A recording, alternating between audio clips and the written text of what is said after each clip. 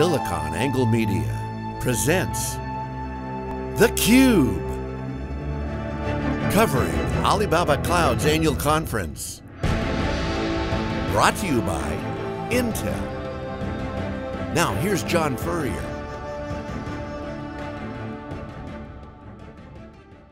Hello everyone, welcome to theCUBE here on the ground in uh, China for Intel's booth here at the Alibaba Cloud event. I'm John Furrier, the co-founder of SiliconANGLE, Wikibon, and theCUBE. We are John Sakamoto, who's the Vice President of the Programmable Solutions Group. Thanks for stopping by. Thank you for having me, John. So uh, FPGAs, you know, field programmable gate arrays, kind of a geeky term, but it's really about software these days. What's new with your group? You came to Intel through an acquisition. How's that going? Yeah, so far it's been, been great. It's being part of a, a company with the resources like Intel and really having access to data center customers and some of the data center technologies and frameworks that they've developed and integrating FPGAs into that, it's been, it's been a great experience. You know, one of the hot trends here, I just interviewed Dr. Wong at Alibaba Cloud, the founder, and we were talking about Intel's relationship, but one of the things he mentioned was striking to me is that they got this big city brain IoT project, and I asked him about you know, the compute at the edge and how data moves around, and he said for all the silicon at the edge, one piece of silicon at the edge is going to be 10x inside the data center in, inside the cloud or data center, which is fundamentally the architecture these days. So it's not just about the edge, it's about how the combination of software and compute are moving around. Right. And that means the data center is still relevant for you guys.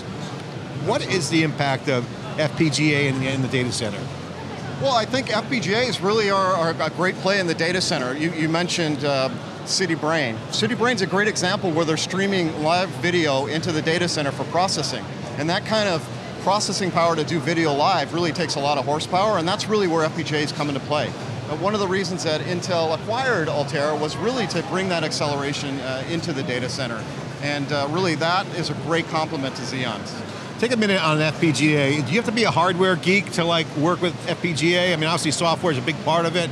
What's the difference between the hardware side and the software side on the programmability? Yeah, that's, that's a great question. So, you know, most people think FPGAs are hard to use and that they were for hardware geeks. The traditional flow had been using RTL-based flows, and really what we've recognized is to get FPGA adoption uh, very high within the data center, we have to make it easier, and we've invested quite a bit in an acceleration stack to really make it easier for FPGAs uh, to be used within the data center. Yep. And what we've done is we've created frameworks and, and pre-optimized accelerators for the FPGAs to make it easy for people to access that FPGA uh, technology. What's the impact of developers? Because you know, you look at the acceleration stack that you guys announced, oh, what, last month was? What? Yes, that's correct. Okay, so last month, this is going to move more of a software model. So it's almost programmability as a DevOps, kind of a software mindset, so right. the hardware can be programmed. Right. What's the impact of the developer makeup and how does that change the solutions? How does that impact the environment? Yeah, the, so the developer makeup, what we're really targeting is, is guys that really have traditionally uh, developed software and they're used to higher level frameworks or they're used to designing in C. So what we're trying to do is really make that those designers, those developers really to be able to use those languages and frameworks they're used to and be able to target the FPGA. And that's what the acceleration stack's all about. And our goal is to really obfuscate that we're actually have an FPGA that's that accelerator. And so we've created kind of standard APIs to that FPGA so they don't really have to be an FPGA expert.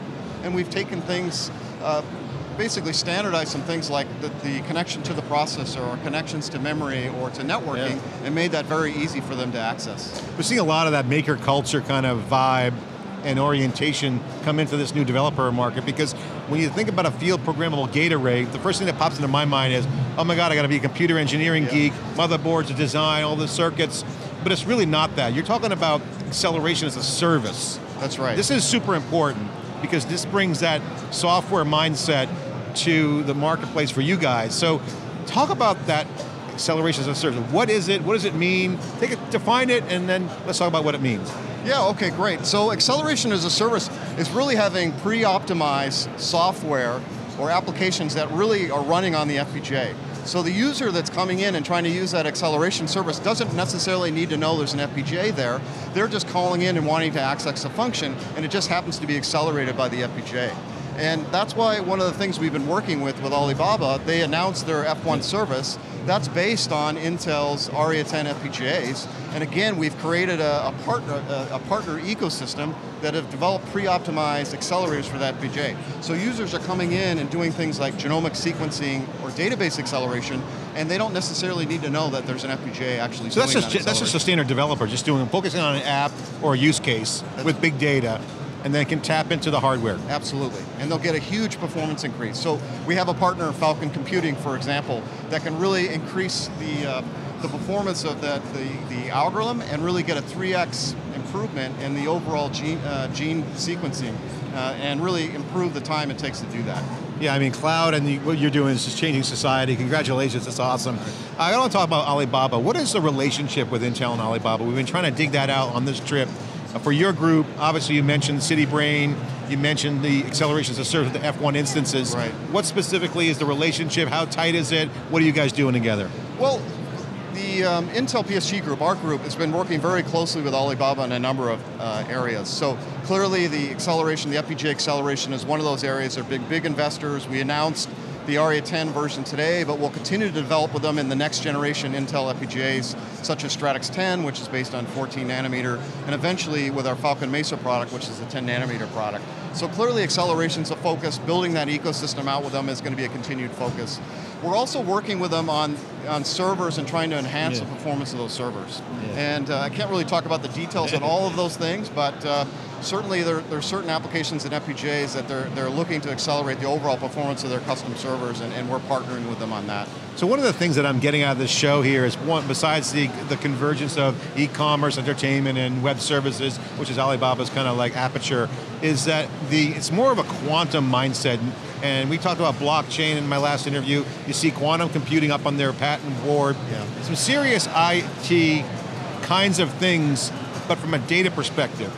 How does that impact uh, your world? Because you providing acceleration, right? You got the City Brain thing, which is a huge IoT and AI opportunity. Right. How does someone attack that solution with FPGAs? How do you get involved? What's your role in that whole play? Again, we're trying to democratize FPGAs. Yeah, we're trying to make it very easy for them to access that, and really that's what that's what working with all the Alibaba is about. They yeah. are enabling uh, FPGA access via their cloud, really in two aspects. One we, we talked about, which is we have some pre-optimized accelerators that people can access, so applications people can access that are running on FPGAs.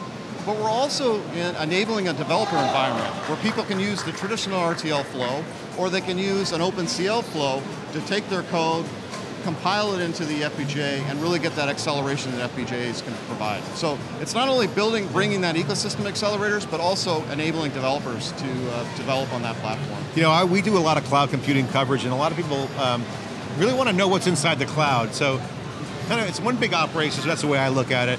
But there's a lot going on there under the hood. What are some of the things that Alibaba is saying to you guys in terms of how the relationship's translating into value for them? You mentioned the uh, the F1 instances. Any anecdotal sound bites you can share on you know the feedback and their direction? Yeah, so one of the things they're trying to do is lower the total TCO of the data center. And one of the things they have is when you look at the infrastructure costs, such as like networking and storage, these are cycles that are uh, running on the processor. And when there's cycles running on the processor, they can't monetize that with the customers.